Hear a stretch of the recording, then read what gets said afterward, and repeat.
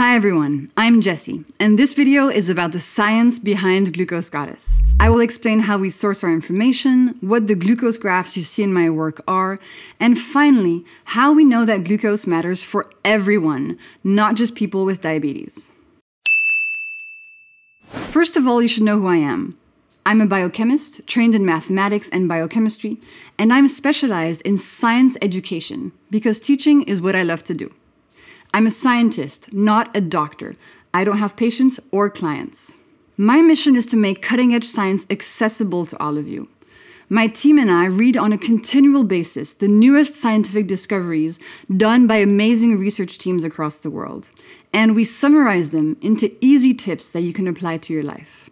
It's completely up to you whether you want to use the information from the studies, of course. You will find the list of all the studies we've summarized on glucosegoddess.com slash science. Thousands of doctors, dietitians, practitioners, nurses, coaches, and more use our content in their practice to make sure their patients and clients get the latest science. If this is you, feel absolutely free to use any content that we share. It's free and public. Now let's take a look at the glucose graphs you see on my Instagram or in my books, like this one. I first created them because I was finding all these amazing scientific studies about glucose, but I wanted to find a way to make them visual so that everybody could understand them quickly. These graphs are just here to illustrate scientific papers. For example, if I come across a study that shows on a large scale that walking after eating reduces the glucose spike of a meal, I create a glucose graph to illustrate it. It's just a way to communicate the scientific findings. I would never draw conclusions from my own personal data. That would be completely unscientific. On Instagram, you can scroll on a post to see the scientific paper that the glucose graph is illustrating. Finally, Let's discuss whether you should even care about glucose if you don't have diabetes. For a long time, it was believed that only people with diabetes should care about their glucose levels. Things have recently changed, and Glucose Goddess was started by me because of the scientific evidence showing that we should all care, with or without diabetes. There are two main reasons why we should all care. First, if you do not have type 2 diabetes, learning to manage your glucose levels will help you avoid developing it. That's pretty important. Type 2 diabetes is a growing epidemic with over 1 billion people in the world who have prediabetes or full blown type 2 diabetes.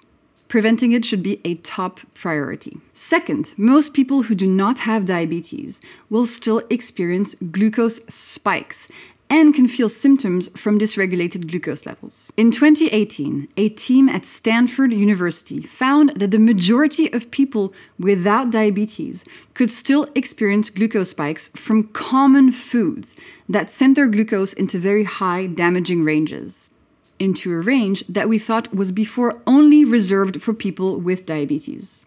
This was a very important and groundbreaking paper that showed us that people without diabetes could still face damage from glucose spikes. More studies show the link in people without diabetes between dysregulated glucose and cravings, excessive hunger, brain fog, fatigue, inflammation, hormonal health, depression, and even risk of Alzheimer's disease. We also now know that each additional glucose spike we experience increases our risk of heart disease, even if we don't have diabetes nor prediabetes. The field is just starting to grow and it's a very exciting time. You can find all the latest papers as we read and summarize them on glucosegoddess.com slash science. What I like to say is that if you think you could feel better than you currently do, learning to balance your glucose levels is for you because it can help you today and help you prevent issues tomorrow.